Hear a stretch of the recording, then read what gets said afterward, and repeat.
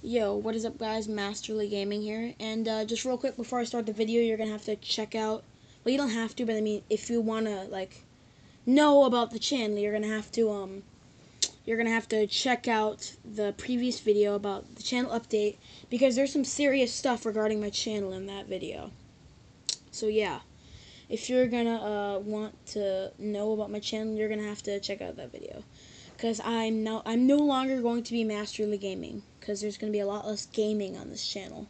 So um, right now I'm going to talk about the NFL. Um, I have two things to talk about, and that is the Raiders, and that actually no three things: the Raiders, um, LeGarrette Blunt, and uh, okay, Kitty, you're gonna have to get out of the way. Sorry, you're gonna have to get out of the way. Uh, the Raiders, LeGarrette Blunt, and the Michael Vick, Geno Smith situation. Stop getting in the way, cat. Sorry. Um, so, first thing I'm going to talk about is the Raiders.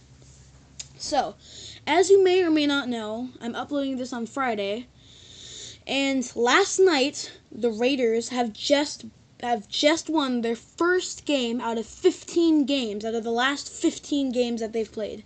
They just won the first game. And my cat's about to get in the way again. I'm sorry, you're gonna have to get out of the way, cat. Um, okay, seriously. Alright. Um, and, and of all the people that they could have won against, they won against the Chiefs, okay? Now, the Chiefs are not, obviously, not the best team in the league. They're not even close to the best team in the league. But they're definitely far from the worst. I would have understood it if the Chiefs, if the the Raiders went against like the Titans or against the Jaguars, but against the Chiefs, um, I don't believe it. I mean, I know what happened and I'm really surprised about it, but I just don't believe that it happened. I mean, seriously.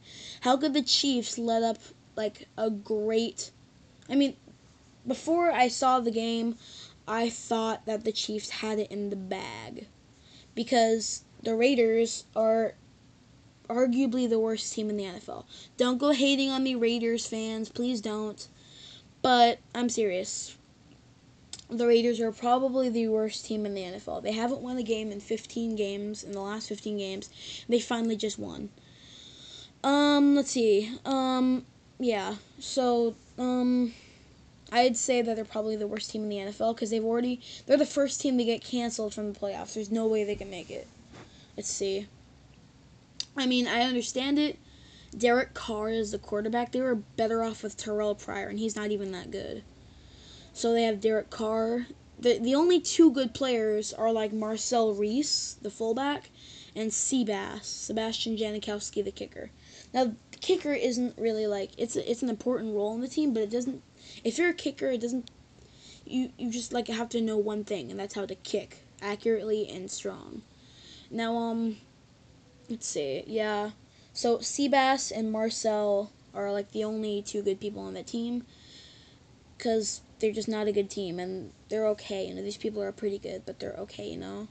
So um, yeah, leads me to the next subject. This one's gonna be short, but it's about the Steelers releasing LeGarrette Blunt, the second string running back.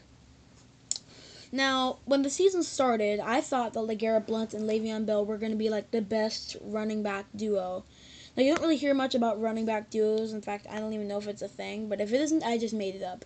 Because a lot of uh, teams use two different running backs.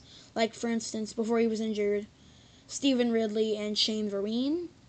Or, let's see, BenJarvus, Green Ellis, and uh, what's it called? And what's his name? Little Gio, Giovanni Bernard. You know? So, a lot of teams use, like, dual threat running backs. So, in this case, for the Steelers, it was LeGarrette Blunt, and Le'Veon Bell, who are both really good power backs. They break tackles, they're great. So yeah, um, I heard that the reason why LeGarrette Blunt was uh, released is because of like, uh, what's it called? Selfish, something, whatever it's called. Like he was being selfish, basically. I'm not sure if that's really a reason to release like a star player but I guess it is to the Steelers. I mean, they still have Le'Veon Bell, who's like a great. He's really good. He's within. I wouldn't say he's anywhere near, but he's within the the same category as Demarco Murray. don't hate on me if you totally disagree, because I understand if you disagree, but that's my personal opinion. Le'Veon Bell is not with he's nowhere near as good as well. I mean, you couldn't really categorize good because you know some people are better at different things. So I mean, Le'Veon Bell is better at certain things, and Demarco Murray is better at second things. So I'd say they're both in the same category of good running backs. So yeah.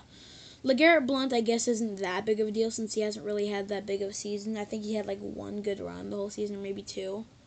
Whereas Le'Veon Bell is that he's definitely the first string over LeGarrette Blunt. Okay, so one more thing I'm going to talk about is the Michael Vick and Geno Smith situation. Michael Vick and Geno Smith are the two quarterbacks for the Jets, and so there's been a lot of argument whether to start Michael Vick or to start Geno Smith. Now, my personal opinion is you can't really put those two together. I mean, you can because they're general. Geno Smith is a little bit better at passing, and Michael Vick is a little bit better at running. So if this if the scheme for the Jets is to be more running, then I would put the Michael Vick in. Whereas if it was more for passing, I would put Geno Smith in. Like for instance, well, actually, actually, what I'd do if I was their coach is I would put Michael Vick in for certain plays, and I would put Geno Smith in for certain plays. Like, if it was a read option or something, I would put Michael Vick in.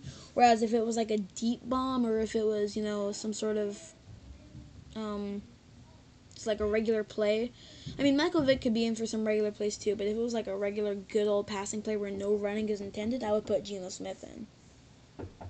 Don't come in, I'm doing something. Sorry, that was. Uh, stop! Please stop knocking! Yeah, I have some like cousins over and they're kind of annoying, but whatever. Yes, my cat is loving me. Sorry for all the distractions. So yeah, those are my. So what I do is actually, yeah, I would put them. I would put both of them in for certain plays. Certain plays I would put Michael Vick in, and certain plays I would put Geno Smith in. So yeah, that ends my thoughts on the NFL currently. So yeah, thanks. Um. For now, Masterly Gaming out.